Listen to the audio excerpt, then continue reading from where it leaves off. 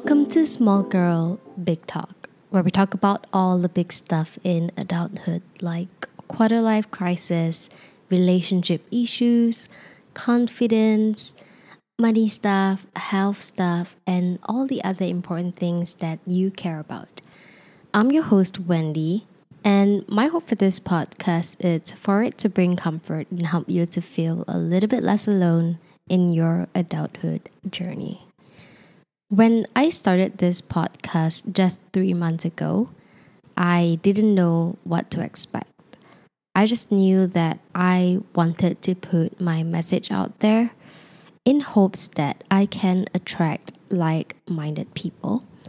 Because honestly, when I decided to come up with this theme of adulthood and talking about all these struggles that I have online, I really was just trying to find a community for myself because that was what I thought was lacking for me in this online space where we are very used to looking at content like self improvement, self care. But oftentimes, there are a lot of internal struggles that people are not comfortable sharing about. But I was very sure that everyone at one point in their life was going through as well. And I wanted to cover about these topics that people might be struggling with because that's what I was struggling with. And three months later, today we are at episode 13. And I think that it is safe to say that there is a demand in what I'm doing.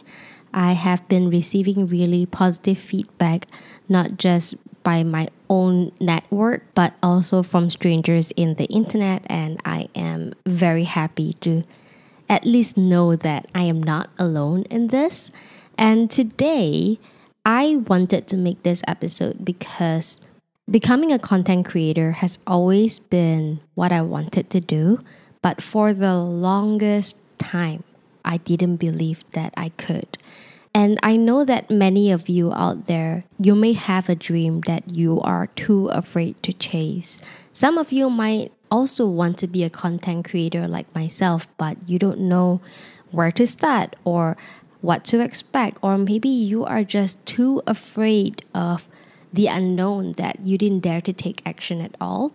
So I just wanted to in a way celebrate this milestone with you guys that I finally hit three months and at the same time share with you what I've learned along the way.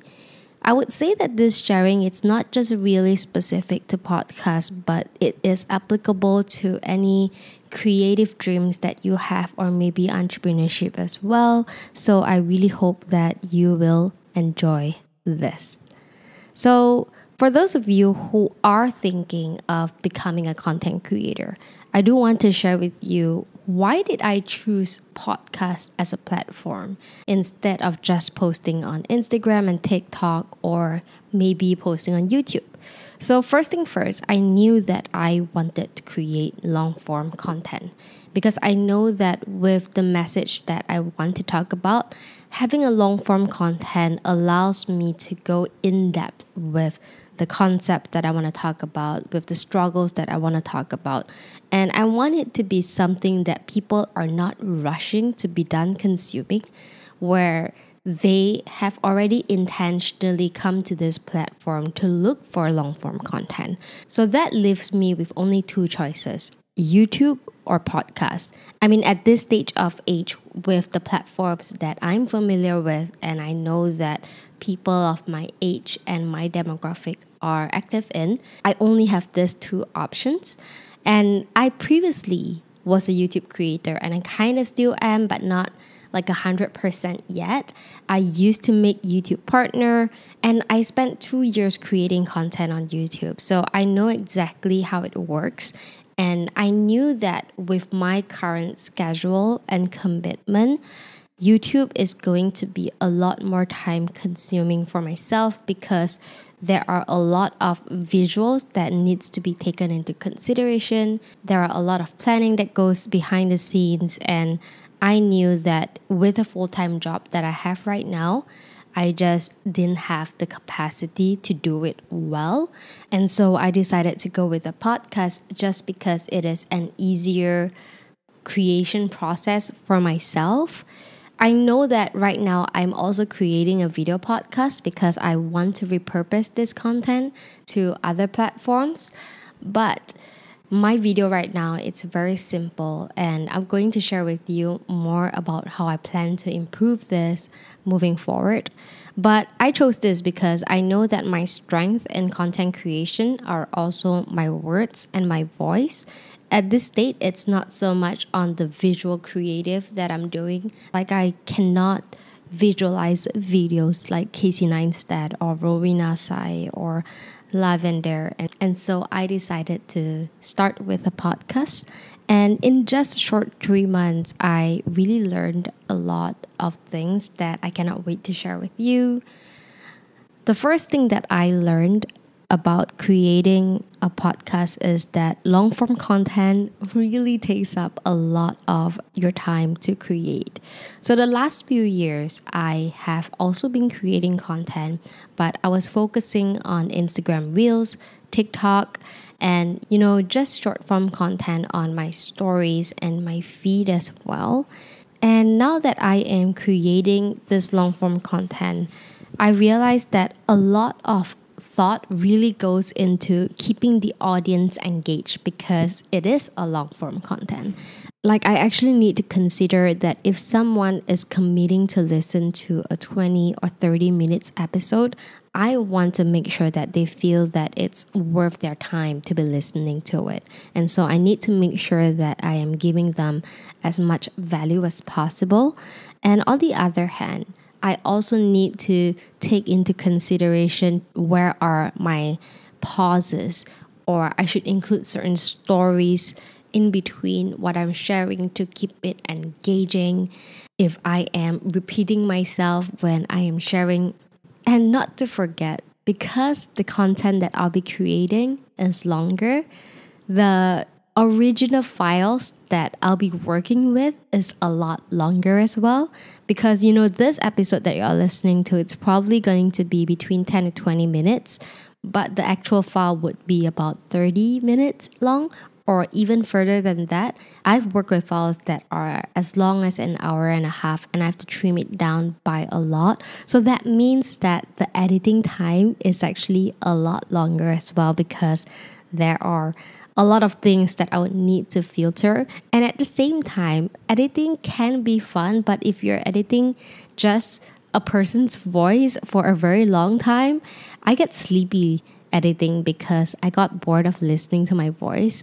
I know it can be really calming for you and it is quite soothing. I gotta give myself credits to that. But what you are listening to right now, it's really a polished version of what I'm saying. While the file that I'm working with, it could be me repeating the same thing for three or four or five times. So it can get quite daunting.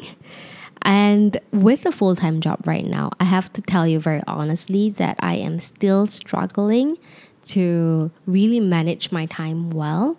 I would say that at least I'm able to identify how my creative process is.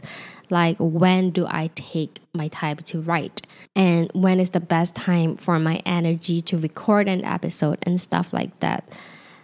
And I noticed that for me, writing and planning for my podcast takes the longest time because as much as we have ChatGPT or any writing AI tools right now, there is only that much that they can help because of the nature of my content. And so, with all the stories and experiences and feelings that I want to share with you, all of this need time to be thought through to be planned into a flow that can work well for me to share with you. So writing process does take a very long time and this is the annoying part. I'm pretty sure you guys are familiar with Pareto's principle, which pretty much states that your work expands to the time that you have to complete a task. And because I know that my deadline for my podcast is every Thursday morning, I knew that I could have completed my draft and recorded my episode by the weekend, but I always end up procrastinating and procrastinating and end up just recording it on Tuesday or even Wednesday. And I really have to rush through the finishing edits and upload it. I'm really trying to change this habits because I know that this is not going to work out for me in the long term. Like, I would really love to have a few content lined up ahead so that if there's any emergencies, if I was sick again, like just a, a month ago, I don't need to be too stressed out about the deadline. So, time is definitely something that I am still struggling with. And secondly, I want to say that it also takes time to find your voice on the microphone. One of the main concerns about becoming a content creator is that you are really putting yourself out there. Whether you are showing your face in front of the camera, or maybe sharing your voice or your ideas to the world, there are a lot of things that you'll be afraid of. Like, what if people judge me for what I do? Or what if people think that my idea is stupid? These are all the things that are very normal to be self conscious of. And it's true. It is not easy to speak on the mic because, as you are speaking right now, you are also concerned about whether you are pronunciation. See, I am saying even this wrong. Like whether or not you are pronouncing your words right, whether the next key point that you have in mind, how can you form your current sentence to get to there?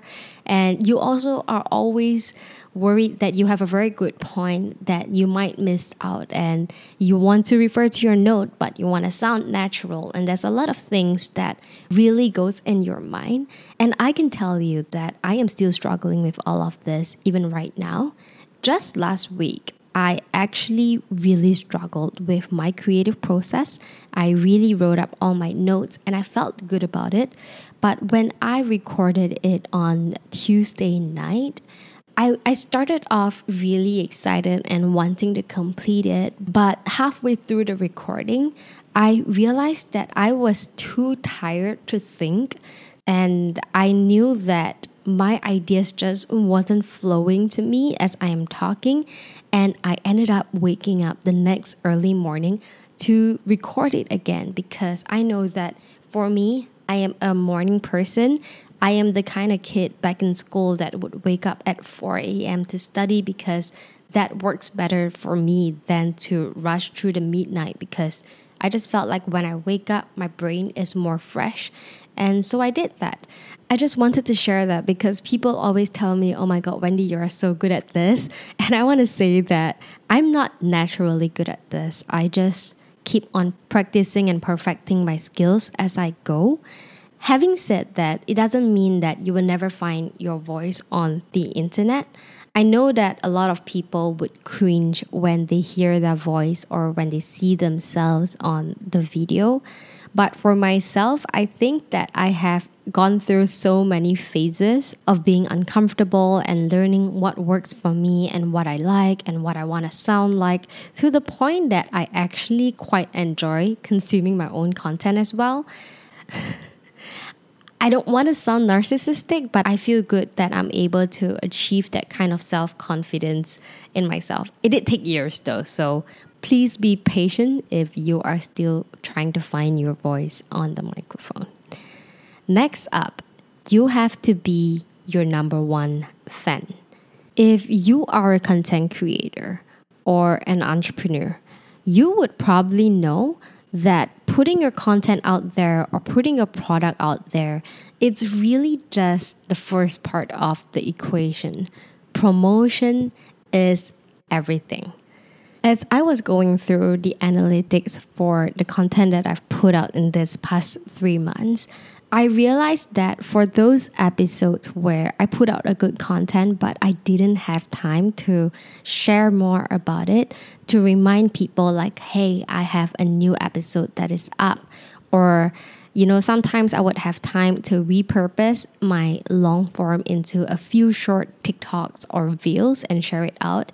Whenever I share those things, I get more views. But when I don't, even if it is a very good piece of content, it doesn't get as much attention as it should have been. And it's the same thing if you're selling something and you don't share about it, no one is going to know. Because if you are not promoting your own podcast or your own platform, who is going to do that for you? Sure, you might have friends who are supportive, who might want to help you to get things out there. But you also need to make the first move to let these supportive friends to know about your podcast first. And secondly, sometimes you might even need to go to the point of telling your friends exactly what to do. For example, in my podcast, I actually tell you guys to share this into your Instagram stories, like be as specific as possible because sometimes people just don't think about all these things until you actually mention the specifics to them and they're like, oh, yeah, I can do that. Why didn't I do that before? And so you have to be your number one fan first in order to think of all these things to tell people so that you can get your message out there. Now, I know that some of you, maybe you are just starting and you are still really not confident about yourself or the content that you're putting out there yet. And so you kind of feel like you want to hide in the corner and you don't want to sound too narcissistic and so full of yourself that you are constantly promoting your own thing. But just know this you can only learn and improve if you actually put yourself out there and open yourself up for criticism. And you'll be surprised by how often people are more supportive and positive than you think. And sure, there are going to be a few unnecessary criticism, but this is just a part of the journey that you would need to learn to accept eventually. One more thing that I learned as I am creating this podcast is that there is always going to be room for improvement. But that also doesn't mean that just because things can be done better, that you have to wait until it's better to get it done. Okay? What I mean is, I don't want perfectionism to get in your way as you are creating your masterpiece. Sure, I can improve this podcast with a better video edit. I can upgrade my sound system. I can record this in a better lighting. I can interview someone about this specific topic to make it better. But that doesn't mean that I have to do it all now because if I were to wait until all these conditions are met, when is that going to be? I have learned that as long as I feel happy with what I am right now, I am going to create based on what my capacity allows me to have right now. And that is because I've been a content creator for many, many years now. And I struggled with perfectionism for a very long time. I always felt like I needed to wait for something in order to really get it out there. But if I don't get started right now, if I don't create this podcast with this bare minimum setup that I have right now, how am I going to understand the platform or my audience? How am I going to figure out the tech setup, the audio setup, my microphone setup, my camera setup to be ready to maybe interview guests in my platform in the future? There are so many things that I want to do, and I have chosen to really do it one step at a time. So you would constantly realize that my podcast will never be the same because I'm already planning things one step at a time. So I know that as time goes on, I want to add chapter episodes on my podcast so that it's easier for you to refer to the timeline and skip to wherever you want to listen to if that is more convenient for you. I know that I want to edit my videos to be better. Right now, it's really just me sitting and talking. And that is because I gathered that at this stage, my audio is the most important thing and video is secondary. And I honestly just don't have the capacity to edit it to be better. I know I can, but I just don't have the capacity. So I needed to figure out a way to either delegate it or outsource it. And having said that, I also really want to hear from you about what you think about my podcast so far. And if you have any topic requests, this is the perfect time for you to let me know as well. I actually have created a form for you to request for content or give me to feedback, and I am going to include this in my show notes for today's episode. And I would also place this into my link in my bio so that you can always come back and request for any topics if you thought about it. So if you have something in mind, please, please, please head to the link and fill up the form and let me know. Lastly, I learned that becoming a content creator, becoming an entrepreneur, or achieving any big dreams for that matter is really a long term game. You have to be really patient in getting towards where you want to be. At this rate, yes, I am celebrating that I am three months into this podcast. I really think that this is just equivalent to my first month because, based on what I've observed in other people's success, I am looking at a minimum of two years of doing this consistently for me to be really good at what I'm doing and to get my big breakthrough. And I am no longer discouraged or impatient about it because I realize that time passes quite fast as you are just focusing in the process and the journey and not so much on the results. So, right now, yes, I would look into my analytics to figure out what is working and what is not. And at that note, I want to share with you guys that in just three months of creating 12 episodes of podcast, I have garnered 70 new friends on my Spotify and I've had over 500 plays. And these numbers might not sound huge to people who have already made it, but for someone who has been talking about starting a podcast but never really actually take action, I'm very proud about it. I'm very happy to know that because I decided to not care about my fear and doubt myself anymore and just do it, in three months' time, I've already gotten this result. And imagine what can I achieve if I continue to do what I'm doing, if I continue to improve what I'm doing and get better and keep on sharing because I also believe that this growth is going to be exponential as well. So it's going to be up, up, up one day.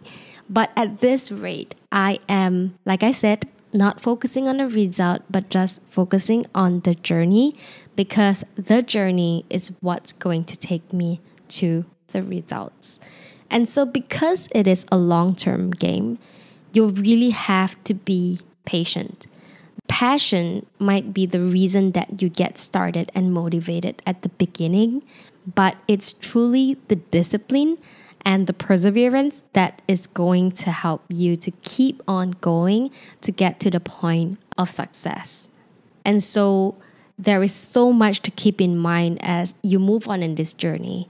It's really about who you surround yourself with in this time that can continue to support you and encourage you as you keep on moving forward. Create an environment and a system that can work for you to keep on moving forward. And most importantly, always remember why you got into this in the first place. Like this entire journey of creating a podcast, it is not the easiest one. I am still always doubting myself I am still always tired and stuck. And it's not the smoothest journey. It's not like it's fun and exciting all the time. But having said that, I always go back to why I started this podcast. And it's really about creating this community that I wish I have to support me and to help me feel less alone in this whole adulthood experience. And so, because of that, it keeps me moving forward. I just always think about it whenever I feel discouraged because I know that what I want to create it's also a very huge dream and a big vision and it's not easy to just get it like that. And so I need a lot of patience and perseverance and reminder about my why to help me to get there.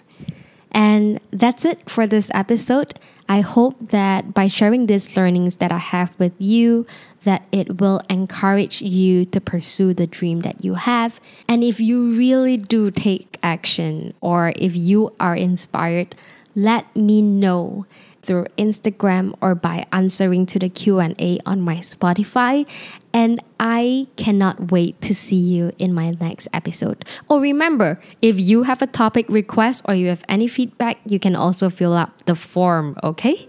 That's it that I have for you today and I will see you in my next episode. Goodbye. Bye-bye.